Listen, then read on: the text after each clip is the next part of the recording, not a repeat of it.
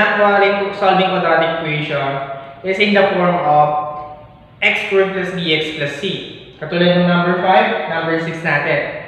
So, using factoring, so number 5, we have x squared plus 3x plus 2 is equal to 0. So, kapag alam natin kung paano mag-factor ng trinomial in the form of x squared plus bx plus c, madali na lang din to. Madali na lang din to. Kasi mag-iisip lang naman tayo ng factors nung dalawa, nung first at second term, kapag inad natin ang lalabas, yung, yung nasa middle term. Okay? So, factor muna natin yung, yung first term natin, yung x squared. Yung x squared, alam naman natin, kapag pinapper natin yan, x at saka x lang naman yan. x, x at saka x.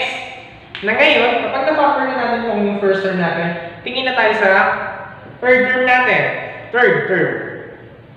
So, ano kayang factor ng 2, ng positive 2, positive 2, kapag inad natin yung yung factors na yun ang lalabas, 3. So, ano nga ba yung mga factors ng 2? So, repeat natin sa 0.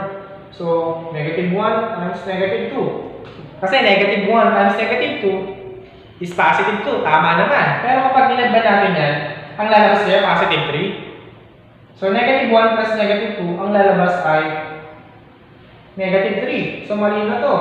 Ano ba yung factors ng 2? Pwedeng positive 1 at saka positive 2. Kasi positive 1 times positive 2 is equal to positive 3. Tama?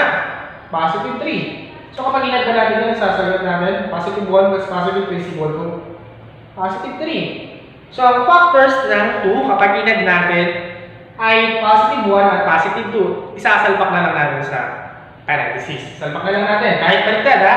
Gusto mo nandito si positive 1, dito si positive 2, or kung gusto mo nandito si positive 2, Nandito naman si positive 1. Okay lang. So, positive 1, tsaka si positive 2. Okay na. So, na-factors na natin yung trinomial natin in the form of x squared plus bx plus c. Ngayon, pag-iwalay na natin to find the value of x sub 1 at x sub 2. So, equate na natin. Yung 0, pag-iwalay na natin. So, yung x plus 1, x plus 1, equate natin na 0. And yung x plus 2, equate natin sa 0. Then, find the value of x sub 1 at x sub 2. So, transposition property.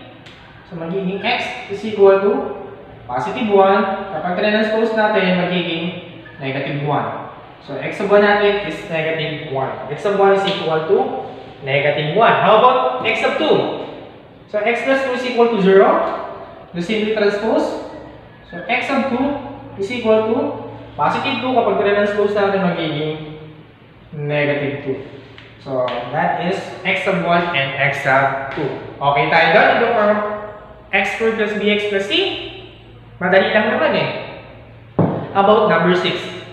Number 6, we have x squared plus 6x plus 8 is equal to 0. Kung makikita natin, yung first term natin sa trinomial, walang constant.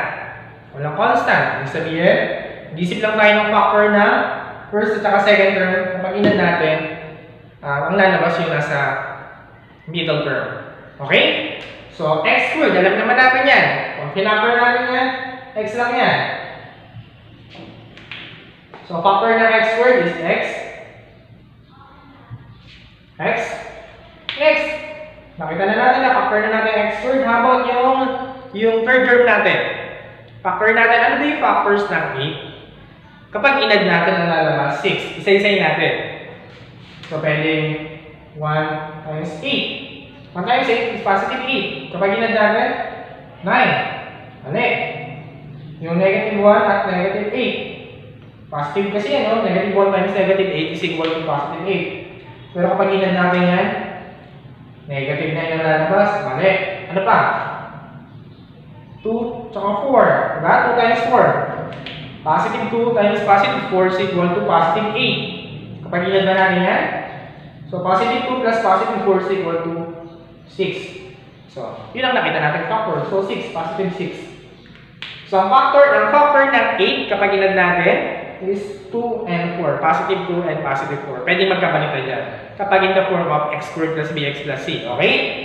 So, lagay natin si 2. Lagay naman natin dito si 4 is equal to 0.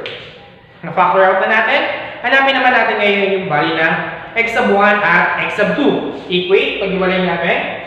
So yung x plus 2 is equal to 0 and x plus 4 is equal to 0.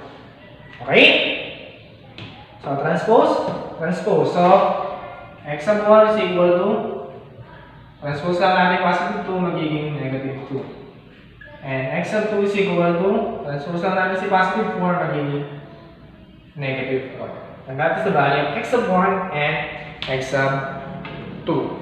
Nagkakaintindihan kung paano mag-factor or mag-solve ng quadratic equation in the form of x squared plus bx plus c.